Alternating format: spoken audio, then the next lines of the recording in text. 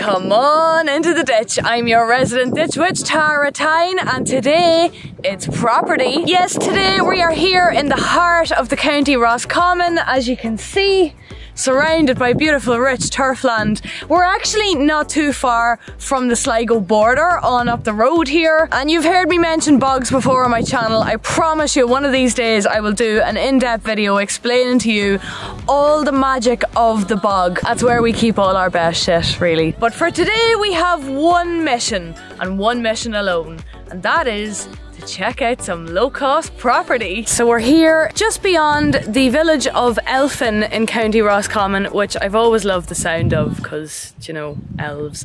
This house has been up actually for quite a while on Daft and I just gave a call about it the other day to see what the story was. I know it looks like quite a lot of work needs done. The roof looks like it's in quite a bad way.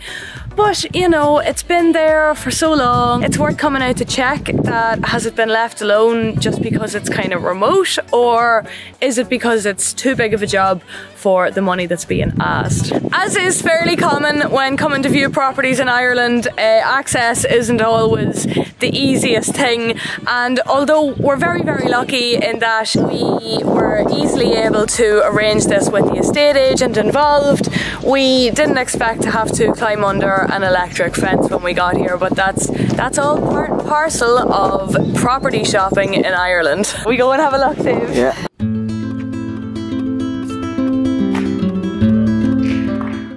Wow.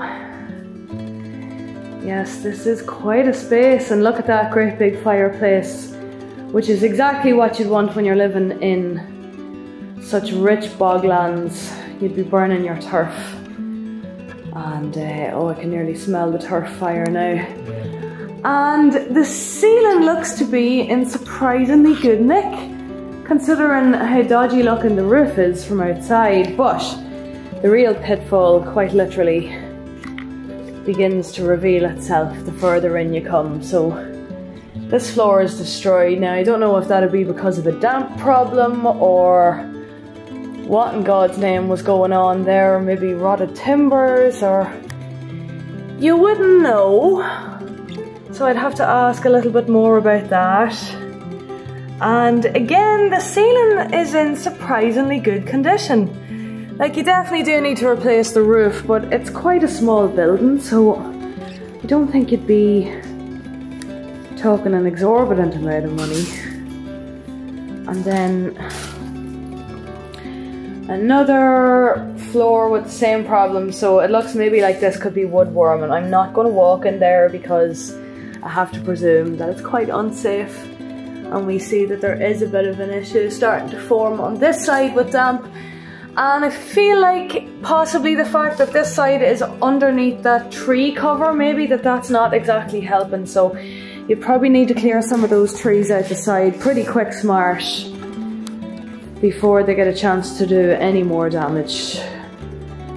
And we have a presumably a pantry. Is it a pantry or is it like a sleeping nook? Probably a pantry. Look at that. Your Beautiful pink painted. You pay about two grand a month for that in Dublin, so you would. Now, and let's see what we have in here. We have another room here. Okay, we're trying it with Dave's phone torch and that's not exactly helping, but actually this room is pretty solid looking. It really only looks like the one that's on the other side of this wall with the, the timber hanging out of the ceiling that looks kind of dodgy like it needs replacing. This is surprisingly solid. There's no signs of like ceiling really falling in anywhere. You'd get a new roof on it and see what the story is with the floors, I suppose. You'd have to be a little bit concerned. Is that, was it rising damp or was it just woodworm or what went on there? And I've just spotted this fabulous tool standing up against the wall, waiting for somebody to pick it up and get to work again. If I'm not mistaken, that is actually for cutting turf. Cutting it, footing it, bringing in the turf, no matter what the weather.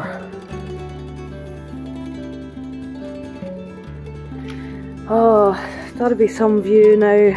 We don't know how, how far does that bounds of the property go? It does only seem to just go to just beyond the house. You can check out the foundations going around here now too. They, I mean, they're a little bit exposed, a little bit crumbly, but I suppose you get an engineer out to have a look at that and make sure it's all good. There is also electricity connected to the house. I don't know if it has water pumped in, so that might be an extra charge. Yeah, look, we've got trees doing damage to the roof here, so you'd also probably need to give uh, a bit of work to a tree surgeon to come in and uh, take care of all of that in a very careful way.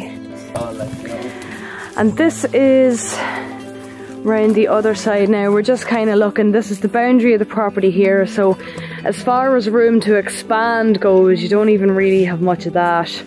If you expand out to the back here, you're kind of losing your back garden. But yeah, you can see better there, the the cubby. Dave's making a very good point that it does look like quite a bit of work. Uh, sort of replacing a roof is one thing, replacing floors is another thing, but maybe having to replace both. And the electrics by the looks of it And too. the electrics, yeah, well, you would definitely need to replace the electrics. Very, very old cottage. And as I say, I don't think that it has water actually piped into the house yet. So, quite a lot to consider with this one. But I think when it comes to properties in Ireland, it's kind of about leverage these days.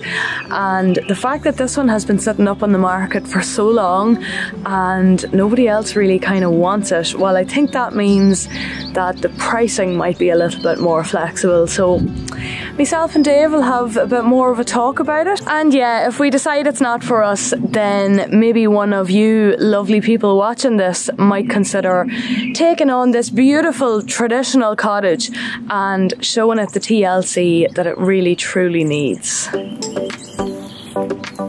And don't forget to hit subscribe to follow along on more of our property adventures. We're probably going to be driving, making little trips all over the country just like this to check out some of these lower cost housing options. And let me know in the comments are you a cottage owner or a prospective cottage owner? Are you looking to buy property in Ireland or are you undertaking a journey in another country? I'm here for the house pouring as much as you are. So, slán agus beannacht, goodbye and good luck to you.